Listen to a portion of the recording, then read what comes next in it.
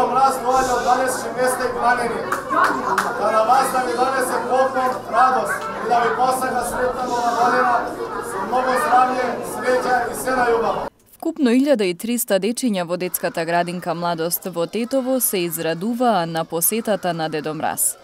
Од него добија новогодишно пакетче на подарок, а за возврат му испеа неколку песнички.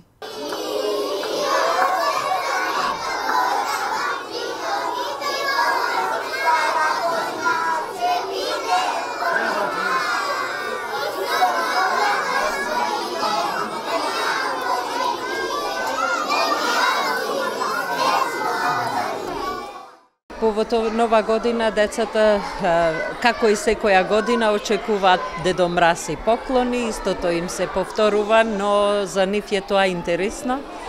Секако и за нас, ако сме возрастни, бидејќи работаме со деца, децата са тие што треба да бидат радосни со испраќање на 2019 и пречекување на 2020. Сите деца имаат новогодишна желба. Тие посакуваат различни подароци, најчесто играчки. Сакам да Мраз да ми купи кукла. Сакам да ми донесе Дедо Мраз панклонче.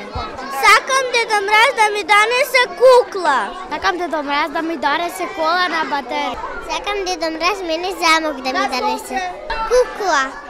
Инаку годината што изминува од управата на детската градинка Младост ја оценуваат како доста успешна, а плановите за подобрување на условите продолжуваат и идната година. Се подобрија условите на градинките во стара градинка на Поток, каде што комплетно беа реновирани, Потоа имавме и други работи кои имавме потребани с објектите и во канцелариите но секако очекуваме дека крајното изработување и реновирање на објекти ќе го завршиме во 2020.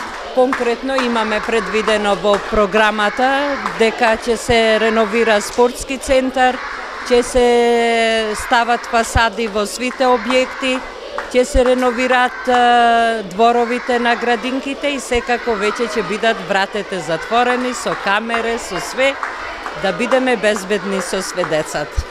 Средбата со Дедо Мраз заврши со заедничка фотографија под накидената новогодишна елка.